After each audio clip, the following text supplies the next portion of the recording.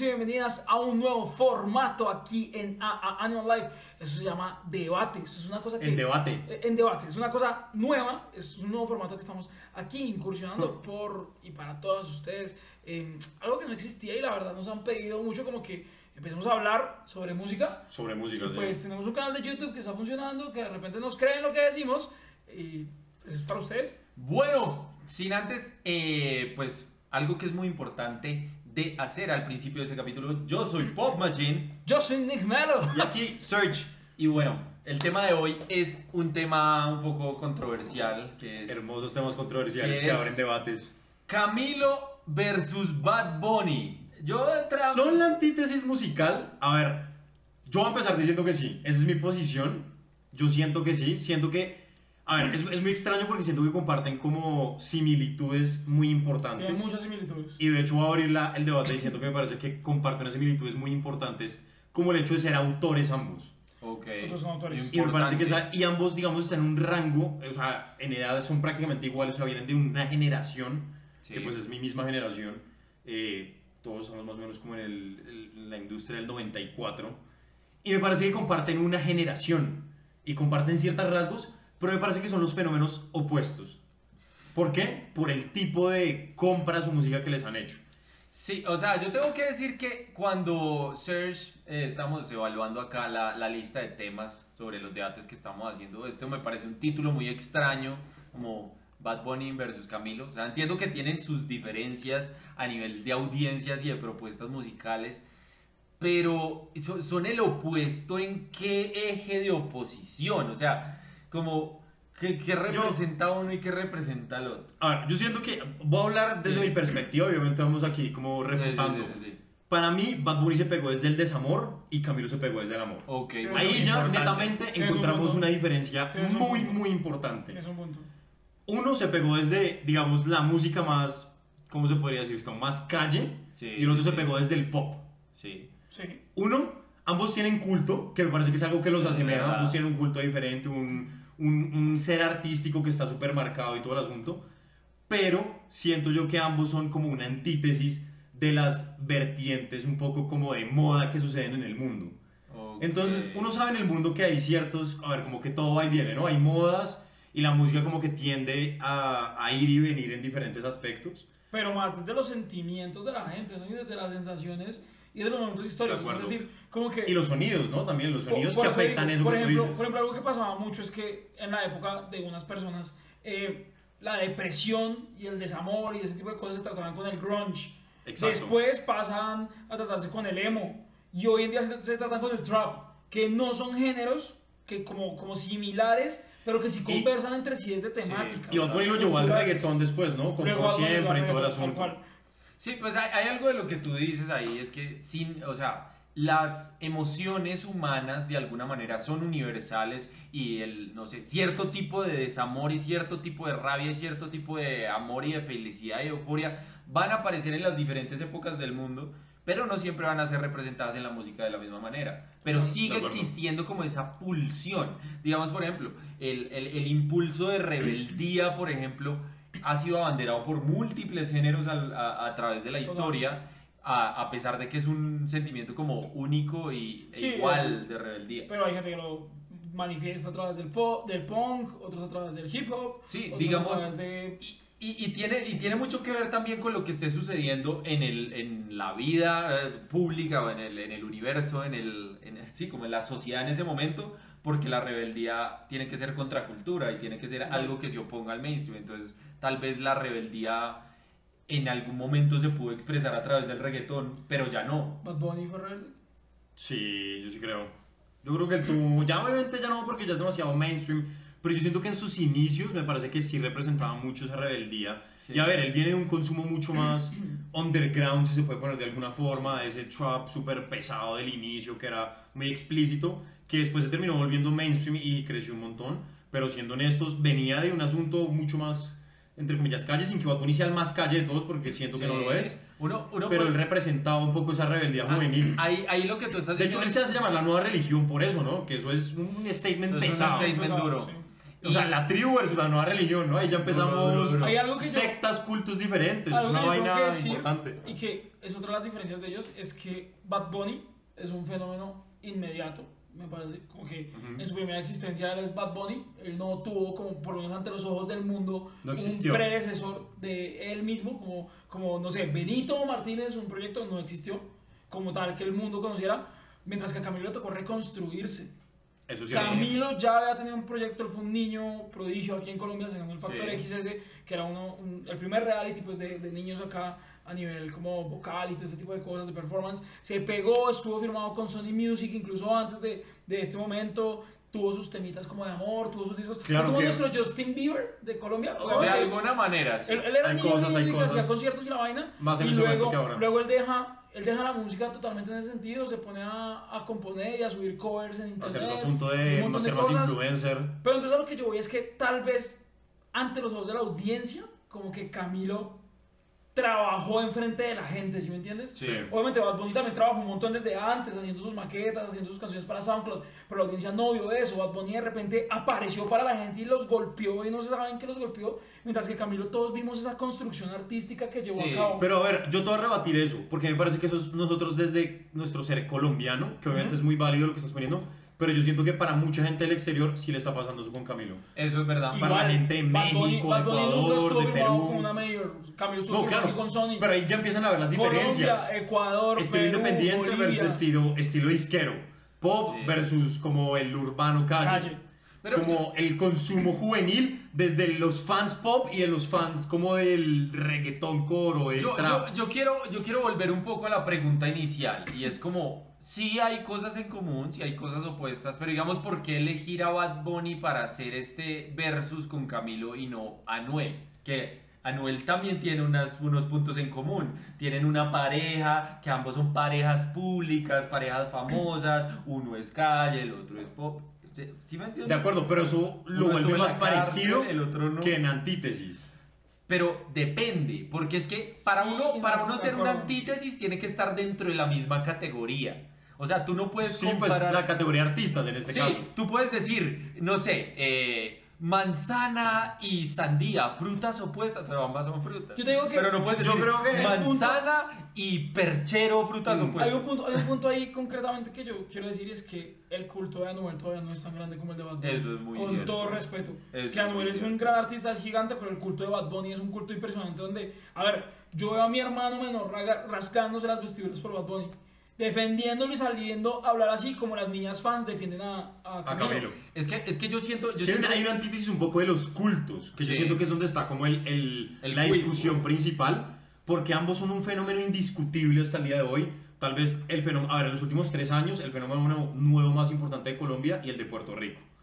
A nivel de fenómenos y Sí. de estos últimos tres años. Hay algo muy interesante de eso del culto y es que eh, los fans de Camilo, auto, pues denominados la tribu, se hace, o sea, yo siento que para un fan de Camilo de la tribu es fácil autorreconocerse como fan. Yo creo que para un fan de Bad Bunny no tanto. Yo creo Yo- que eso no es Uy, cierto. yo no yo creo que se matan por Bad Bunny, pero yo no le llamaría a la nueva religión un fandom, porque no creo que se comporten como tradicionalmente se comporta un fandom. Pero es que cómo se comporta tradicionalmente. Pero es que tú estás. Yo voy a retirar ahí porque me parece que hay una cosa interesante: es que tú estás analizando el espectro fandom desde el espectro más pop y no desde el espectro tipo fandom que tiene Bad Bunny. O sea, Pero es que Porque yo- los o sea, dos son que fandoms que se manejan de maneras diferentes, o sea, que De, tienen de acuerdo, o sea, son, son, o sea, son fandom, pero yo no veo como, no, no veo tanto sí, el, fandom de Bad Bunny es como el fandom de la gente que no le gusta ser fan de nada. Sí, de acuerdo, es, Es- que ese es mi raro. punto, ese es mi punto, es como, no es que no tenga fans y que las personas no reconozcan su entusiasmo profundo de culto por Bad Bunny, porque sí lo hacen, pero es como la dinámica del fandom, sí, es como, como la típica discusión, ¿Morat es una boy band o no lo es? Pues no lo es en el sentido clásico de la palabra, pero hay aristas desde las cuales se puede pensar que sí. Que eso Yo- es otro debate De para otro momento, pero Yo no sé, yo igual creo que las dinámicas de los fandom, el de Bad Bunny cumple con las mismas dinámicas. Me parece que cumple Ok. exactamente con las mismas dinámicas, solo que es como el fandom de los marginados, que resulta que los marginados son Somos una masa todos ahora. increíble. Exacto. Sí, pero la gente se compra la paleta de Bad Bunny. pero no, no los veo comprándose un lightstick de Bad Bunny porque tener un, o sea, el solo hecho de que exista un lightstick de Ba- Bad Bunny es muy extraño. Pues la No gente- puede llegar a suceder, funcionar. pero ustedes entienden mi punto. La colaboración de maldita Crocs sea. se fue a la mierda. O sea, la colaboración de Crocs sold out Sí, en de nada de acuerdo, tiempo. pero es que yo, o Hoodies, sea- sold out en nada de tiempo. La gente Miren, tiene esperemos- afiches, los afiches esos de la calaverita con el ojito. Yo creo que ustedes entienden mi punto y me están queriendo llevar la contraria. No, no, no. No, no, estamos debatiendo. Para esto es el formato, para debatir. Entendemos que siempre hay ciertos, ¿cómo se dice? No, no todos compartimos los puntos No, no, de no, de vista. acuerdo, de acuerdo. O Pero- y por eso forma este. algo, que sí, este- algo que sí compartimos y es cuenta de Instagram. Entonces pueden ir a seguirnos allá. En arroba Animal, Animal Records. Records. Arroba Animal Records. Venga, Animal con ahí. Y. Ay, madre. que son las playlists de Perdón, perdón, Spotify perdón. que también. Tenemos nuestra playlist de Spotify. Pero entonces, bueno, aquí, arroba Animal Records. Sí. Ahí pueden seguirnos, hablar con nosotros, pueden escribirnos. A ver. Mm. Hay algo, hay ¿qué algo interesante que quiero decir antes de continuar con este álgido debate y es que eh, vamos a intentar por primera vez el formato podcast. Entonces, si usted no tiene tiempo de pronto de ver nuestros videos, eh, pues vamos a darle la oportunidad de que nos escuche en el bus o mientras lava los platos o mientras... Sí, la idea es volver este, este formato de debate podcast. Entonces, si usted está es. escuchando esto eventualmente en un podcast, es porque lo logramos.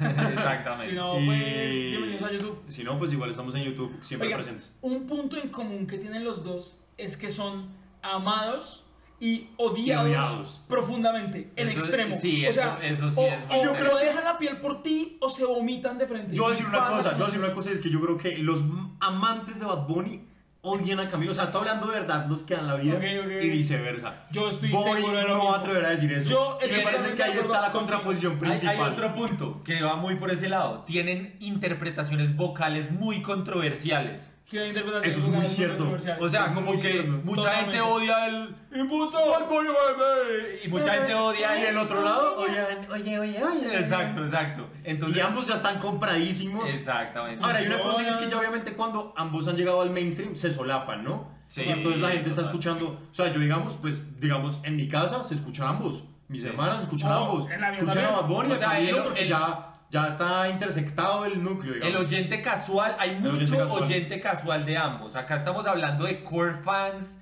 de, de ambos. O sea, eso es muy Claro, raro. ahí igual lo interesante es que ambos hacen latir a el gran mainstream de maneras diferentes, obviamente, Sí. pero los hacen latir, los hacen sentir. No, es que eso es muy importante. importante. Es muy importante sobre todo porque, a ver, culturalmente hablando, digamos, el mundo de la gente de la vida diaria se divide en dos. En gente de familia y gente más bien de vida de estilo libre.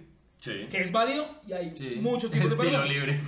Hay gente más solitaria, gente que no tiene que pedirle permiso a nadie, Ok, gente que etcétera. La gente de familia es muy de Camilo. Exacto. Muy de, te quedas en la casa, la vaina, soy lindo, no sé qué. Y la gente que vive su vida como le da la gana es yo hago lo que me da la gana. ¿Qué Claro, es eso? que es el gran Bad statement de Bad. Bunny. Totalmente. Y por eso digo que hay dos tipos de maneras, hay dos maneras de, de- de- de ver la vida y de, abordarla. Y estos dos artistas de verdad que le, se hacen sentir identificadas a las personas con su música. Yo creo que una- hay un punto muy interesante de eso que tocas y es a nivel de la marca artística de ambos. A ver, aunque ambos, ambos obviamente tienen su, su culto y tienen un- una gran proporción de seguidores, es, es diferente porque me parece que lo de Camilo es más desde la unión Sí. y el fan de Bad Bunny no es tanto desde la unión con otros fans, sino más como de la representación de esa soledad que tuvo Bad Uy, Bunny o sí. esa, No. o esa libertad que Total. hablas tú. Y yo te digo algo, gente que, gente que está totalmente apartada del fenómeno. Sí, sí, Gente que está- hay, hay gente que está totalmente apartada de los fenómenos. De acuerdo. Hay unos que vibran más con un artista que con otro. Eso es cierto. Por ejemplo, yo he visto metaleros, gente que escucha metal, fans de Iron Maiden, fans de Metallica, que les sabe a mierda la música comercial, diciendo, Bad Bunny tiene algo interesante. Y por otro lado Ok. diciendo, uy, qué asco, Camilo. Porque es gente que, que lo aborda de un punto de vista muy, muy pesado. Ahora, por otro lado, gente que tiene las, las mentes como un poquito más cerradas que los jóvenes, como los adultos, adultos, como los papás de 50, 60 años, los he visto decir, tan lindo que canta ese muchacho. Ese muchacho Es que, Camilo". a ver, tú Y has- qué asco ese tipo tú has- tú has tocado- Entonces es como, Tú has tocado un punto Una que a mí me fibra. parece aunque súper... no pertenezcas al fenómeno, igual terminas inmerso de alguna Sí, forma. total. A mí me parece que has tocado un punto que es muy interesante y es eh, la aprobación paternal y generacional de los artistas. Camilo es mucho más family friendly, como Totalmente. que veo más a una mamá llevando a su hija, a chiquita al concierto de Camilo, acuerdo. que llevándola a un concierto de Bad Bunny. Y pues como que es muy interesante porque el rechazo o sea, yo no he visto rechazo de los adultos más profundo que el que veo hacia Bad Bunny. Bad Bunny es como... Lo rechazan. lo- les parece la cosa más asquerosa y antiartística del universo y más deplorable. no lo entienden, todos ¿no? los O sea, no entienden el todos los comentarios son como, no, ese no canta, no, que es esa porquería. que es esa pinta tan fea, que son En- esos pelos. En que- TikTok nosotros vemos los, el También challenge. es un opuesto, ¿no? Las letras ultra clean contra las letras No, total, o sea, explicit, que eso ya ahí el- estamos hablando de el challenge de TikTok, O sea. Beatles versus eh, Sex Pistols. Rolling Stones, Sí. digamos. Literal. O sea, es, es como ese tipo de fenómenos. ¿Tú viste alguna vez el challenge de TikTok donde, donde estaban mostrando la canción de Bad Bunny y literalmente cogían y grababan a los papás y decían como, bueno, esperemos a ver cómo Sí, sí, sí. Si tu novio no te mama el culo y la gente mira y los papás eran como, ¿qué es eso, weón? ¿Ustedes creen que los papás... Y por otro lado están los papás haciendo el challenge de Camilo en TikTok, Sí, ¿no? O sea, pero es no, como... Ay, Mi pregunta, una pregunta aquí polémica. ¿Ustedes creen que en algún momento Bad Bunny se va a volver friendly para los papás? No sé. Digamos, en el caso de mi mamá, lo logró. Es mi que mamá no ver. le gustaba Bad Bunny y ahora le gusta mucho porque mi hermano la hizo ver el concierto en Nueva York. Ok, el concierto en le agarró un respeto artístico. No, y, y le pareció, o sea, mi mamá ya no ve como el tipo que dice groserías y que no canta para ella, sino ya un muchacho soñador igual que su hijo que está rompiéndola ya.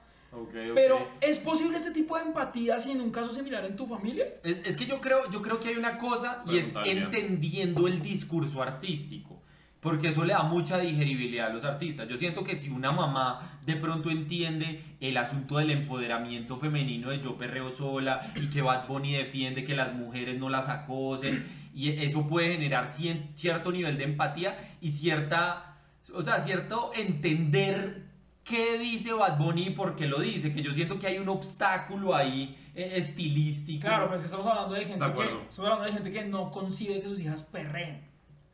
O sea, Claro, no, sí. pero no todo papá no concibe que su hija es perrea. pero es que no les gusta el término perrear per se. Sí, pero pues así como así como hay papás que al principio eran homofóbicos y luego logran entender que una persona homosexual punto. puede amar y Pueden llegar a tener empatía con Sí, actor artístico como el pues yo creo que Yo todo creo que sí. eso A nivel está masivo. eso está muy mediado por el discurso y la exposición. No, y el tiempo también, yo creo que el tiempo también va como consolidando los proyectos y como que eventualmente la gente, a ver, te toca. Es tan grande que eventualmente como que me parece que te toca un Darle punto una como oportunidad atracarte. de entenderlo o no. Exacto, Pero sí, por lo menos de es escucharlo dando- bien. Ahí hay ¿Qué es un lo que punto- está pasando acá? Por lo menos tengo que pensar porque si es algo tan grande, Claro. tengo, tengo que por lo Sí. menos darle un chance. mejor Es que dicho. hay un punto importante ahí y es que digamos cuando uno cuando un papá llega y se le aparece Bad Bunny en el carro eh, se nubla y lo quita pero si se lo ponen por todo lado y de repente no sé Bad Bunny en su proceso artístico llega a una canción de amor a su estilo que no tenga nada demasiado chocante puede ser un gateway a que digan ay qué canción esta canción está interesante y es de Bueno, No, mi yo, yo mamá". creo que ya las he ido teniendo. No, de eso te iba a decir, sí, por nuevamente, mi mamá que criticaba mucho a mi hermano porque mi hermano pone todo el jodido día Bad Bunny. Mi mamá ahorita ama y si lleva a tu mamá. O sea, es una canción mucho No más. No, no, no, por no. ti, Entonces, sí se puede, ochentera. sí se puede, pero depende de cómo la aborden. Ahora, Una, una pregunta. dime, ¿Ambos son actos artísticos pop? yo creo que sí. Sí Yo creo Ya que en sí, este momento, definitivamente. obviamente. Pues, vale. Definitivamente sí. Yo digo que O sea, definitivamente sí. Yo siento que Camilo siempre ha sido muy pop en su esencia, pero Bad Bunny tiene sus canciones que apelan al pop y sus canciones que no. O sea, eh, y en ese sentido me parece que como que señalar a Bad Bunny como exclusivamente un fenómeno pop solo se puede hacer desde un análisis sociológico, no desde un análisis Yo artístico. estoy totalmente de acuerdo con lo que acabas de decir. De acuerdo. literal eso. Porque es que para mí el pop es un fenómeno sociológico más que artístico. Porque es que Nirvana era música supremamente incomprendida y cuando se vuelve mundial, pues ya no es tan incomprendida porque la comprende un gran montón de gente. Por más Mm. indigerible que sea, que es una bola de sonido afinada, que las baterías suenan latoneras. Pero ah, sí, hay, hay una cosa, hay una cosa que pasa con el pop, y es que el pop, el pop pretende el mainstream y el mainstream pretende la universalidad, ¿sí? Hay mensajes como el de Camilo, si Camilo se vuelve mainstream con una canción, Vida de Rico lo entiende un niño, lo entiende un adulto, lo entiende un viejito, Total. y lo puede consumir y decodificar. Si de repente una canción de Bad Bunny se va mundial, si comparamos, digamos, Mia con Drake, se puede pasar ese fenómeno mainstream, pero hay otras canciones de Bad Bunny que por más exposición que logren, no logran que el abuelo comulgue con eso. Y siento que ahí es donde, donde Bad Bunny, como fenómeno pop, hay ciertas cosas que lo alejan de ser tal vez ese fenómeno universal Pero yo- transgeneracional. Yo, no estoy de acuerdo porque es que tú estás hablando de que concretamente el abuelo no lo va a entender, pero entonces así como el abuelo no entiende a Bad Bunny, el metalero tampoco entiende a Camilo y no pretende entenderlo. Y siempre vas a Exacto. quedar fuera del consumo de Bueno, alguien. sí, sí, pero- hay, una, hay una realidad artística, es que nunca, o sea, hay gente que no le gustan los Beatles, hay gente que no Sí, le gusta de Michael. Jackson. Totalmente. Siempre habrá alguien que no te compre. De acuerdo, pero mi punto es más un asunto transgeneracional, ¿sí? Hay gente que hoy en día sigue escuchando los Beatles y hay abuelitos de ese tiempo que, que seguramente se soñaron los Yo- Beatles. Pero, Pero- yo a ver, es, es una cosa diferente porque una cosa es cons- consumir, otra cosa es aprobar. Sí, porque estoy viendo totalmente. que los Estoy abuelos aprueban a Camilo, pero no aprueban a Bad Bunny, pero no están escuchando ninguno de los dos. O sea, no, no, hay, un, no hay un asunto como de... Ellos no consumen Camilo. Exacto, simplemente un asunto de aprobación. Sí, pero no, no es solo un asunto de aprobación, es que en una cena familiar de Navidad pongan Camilo o pongan Bad Bunny y todo el mundo esté de acuerdo con eso. Te puedo jurar que van a hablar de Bad Bunny. Así hablen mal. Bueno, está bien. Y va a estar- Ah, no, pues y eso yo- significa que yo solo lo quiero poner sobre la mesa, porque es que yo siento que hay, hay unas cosas que son el pop juvenil de la generación y hay otras cosas que es el pop mainstream que logran, lograron en su momento artistas como, qué sé yo, Michael Jackson, Luis Miguel, que es ese pop transgeneracional que tiene una ver, pretensión de universalidad. Hay una cosa que no hemos hablado que es interesante y es Camilo ayudó a componerle una canción a Bad Bunny, ¿no? Camilo ayuda como ¿Cuál fue? Si estuviésemos juntos, si no estoy mal. Si estuviese, creo que si estuviésemos juntos. Damos Uy, yo, yo no tengo Dame, claro ese dato. dame. Entonces, Sí, para ir cerrando este podcast, que pues la idea es más o menos de que sean de esta, de esta longitud de tiempo, yo quiero preguntarte a ti, Manu, ¿tú crees que se va a venir un tema de Bad Bunny con Camilo eventualmente? A ver, eso lo puede veo. llegar a pasar. No, si estuviésemos juntos, dicen que es producida, escrita por Benito Martínez. Ok, o sea, producida por Benito es que- Camilo. producida por Tiny, La Paciencia, Camilo Echeverry. O sea, Camilo ya ha trabajado con Bad Bunny. Los dos se entienden, yo estoy seguro que se entienden perfectamente artísticamente hablando. Ambos son autores. Son autores, Son cantautores muy Muy importantes. talentosos. Y yo creo muy que se respetan mucho entre ellos, la verdad. Sí. De acuerdo. Entonces, bueno, Nick, ¿tú crees que va a haber una canción entre Bad Bunny y Camilo para ir Yo, cerrando este yo podcast? creo firmemente en que va a haber una canción entre Yo Bad creo Bunny que y eso va a ocurrir. Yo creo que va a ocurrir. Son dos fenómenos demasiado cabrones y demasiado que- cracks para no, para no trascender. Y yo Para le no digo a la audiencia. Yo tengo que decirle algo a la audiencia y con todo respeto, sé que a mucha gente no le va a gustar esto.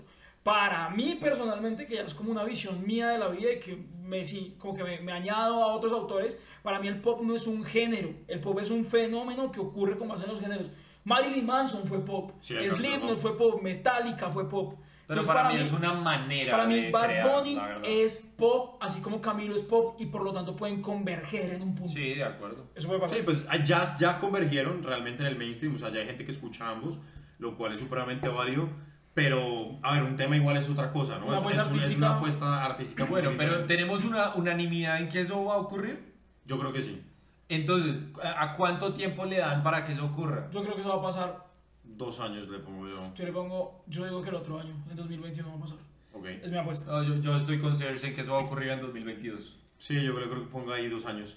Y bueno, gente, nada, vamos cerrando entonces este debate aquí. Muchas gracias por habernos acompañado, ya sea desde sus casas, desde sus carros, desde sus comedores. No sé dónde nos, nos estén escuchando, No, escucha en la viendo. cocina, Desde su lavaplatos. En el Uber también. Nos encanta hablar con ustedes, primero que todo, decirlo. Si usted está viendo esto desde YouTube, por favor déjenos en los comentarios qué otro debate le gustaría que hiciéramos. La verdad, estos debates pues no pretenden como tener una respuesta final, queremos es más bien que usted nos dejen en los comentarios sus opiniones y lo más importante de todo, obviamente que nos digan de qué otras cosas les gustaría que habláramos. Eh, obviamente pues temas que tenga, den de qué hablar, ¿no? Como, Totalmente. como cosas que, que ¿cómo, se, ¿cómo se diría esto? Como que inicien una chispa pues de conversación. Así es. Que esta, esta puntualmente pues nos pareció que tenía bastante material de dónde empezar. Y bueno, algo Decirles más que que aquí agregar, Nick nosotros hablamos es porque ustedes lo piden, porque ustedes dicen que estaría cool un tipo de formato diferente. Eso lo hacemos por y para ustedes. También decirles que la verdad la posición de nosotros tres es que absolutamente cualquier acto artístico es válido y tanto Bad Bunny como Camilo son dos personas y dos artistas increíbles que trabajan muy duro, que tienen carreras supremamente respetables, supremamente admirables y que sabemos que solamente les queda seguir creciendo. O sea, nosotros aquí no pretendemos decir uno es mejor que el otro, para nada. Respetamos a los dos, nos encantan los dos, eh, somos consumidores de la música y de los actos artísticos de ambos. Entonces nos parece brutal. No creemos que en la música haya tal cosa como que algo sea mejor o peor que otra, o que uno cante más lindo y el otro no, que uno sea más calle y el otro no. No se trata de eso, se trata de poder disfrutar lo que nos ofrece cada uno en un spot. Y si Camilo y Bad Bunny están logrando ese tipo de cosas tan grandes, es porque algo muy especial deben tener. Y recuerden Me gusta que ese final. Este es un contenido mixto de YouTube y formato podcast, entonces nos pueden encontrar en Spotify y cualquier otra plataforma de podcast como Spreaker. Eh, va- vamos a hacer los esfuerzos por Sí, hacer ya esto. vamos a ver si cuando se Realidad. suba este estará Ojalá. ya de una en el podcast, no creo. Sí, no, no, pero, pero, pero bueno, estaremos, saludos. estaremos. Entonces, si usted nos está escuchando por audio, puede ir a ver el resto de nuestros videos. Estamos reaccionando a casi todos los lanzamientos fuertes de la música latina y a los más fuertes de la música anglo, por lo menos de los fenómenos pop. Y recuerden que yo soy Pop Machine. Yo soy Nick Melo. Y aquí search, chao gente. Arroba Animal en Instagram. Foto por Animal Life. Chao. Wow.